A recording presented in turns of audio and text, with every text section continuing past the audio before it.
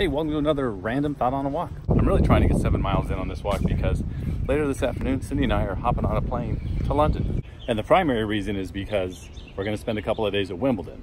Cindy is a huge tennis fan, so this is definitely a bucket list item being checked off.